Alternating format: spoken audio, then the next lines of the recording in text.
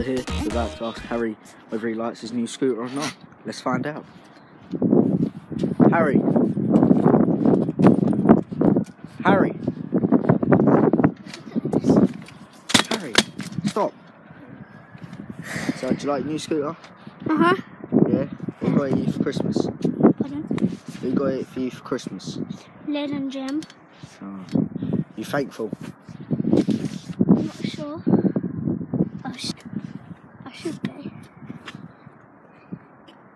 Anyway, I'll show you some clips of the scooter.